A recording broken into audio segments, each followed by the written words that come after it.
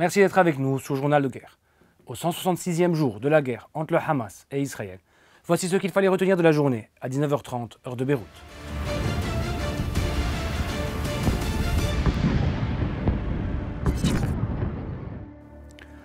Nous commençons par la situation à la frontière libano-israélienne.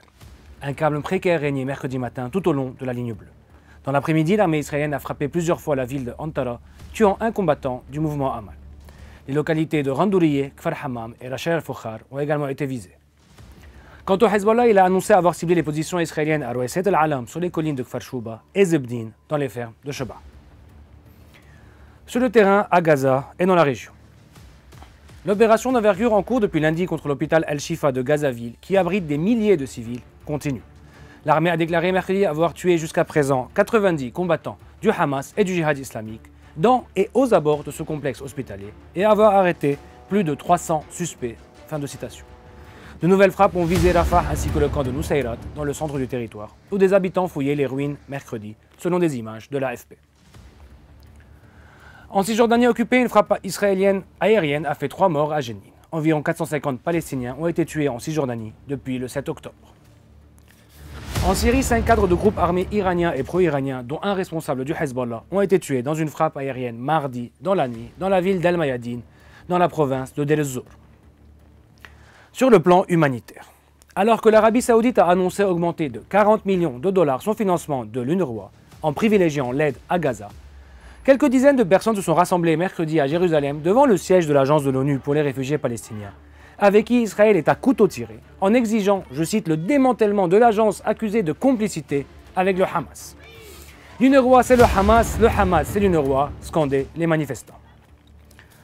Au niveau diplomatique, le Canada a l'intention de mettre fin aux ventes d'armes à Israël, a déclaré sa ministre des Affaires étrangères, Mélanie Joly, dans la nuit de mardi, après l'adoption par le Parlement canadien d'une motion non contraignante appelant le gouvernement à agir de la sorte.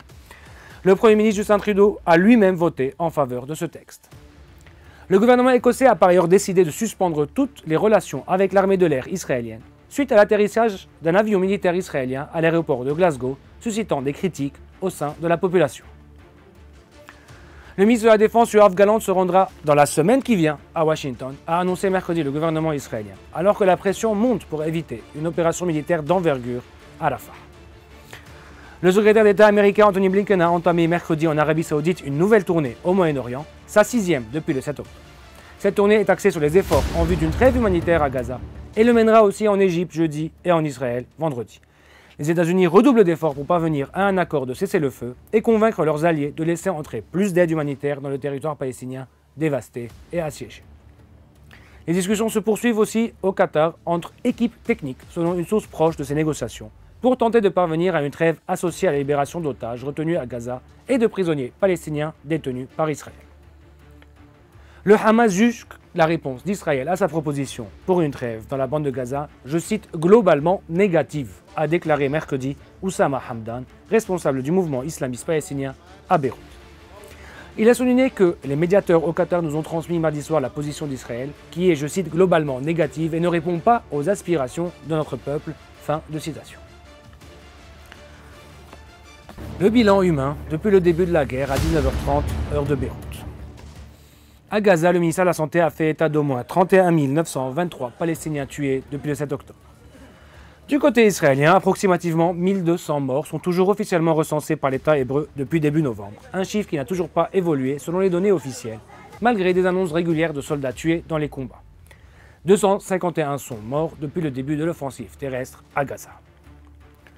Merci de nous avoir suivis sur Ici Beyrouth. On se retrouve demain pour un autre résumé de la situation. Vous pouvez suivre toute l'actualité concernant cette guerre sur notre site www.icibeyrouth.com sous la rubrique Guerre Israël-Hamas ainsi que sur nos réseaux sociaux.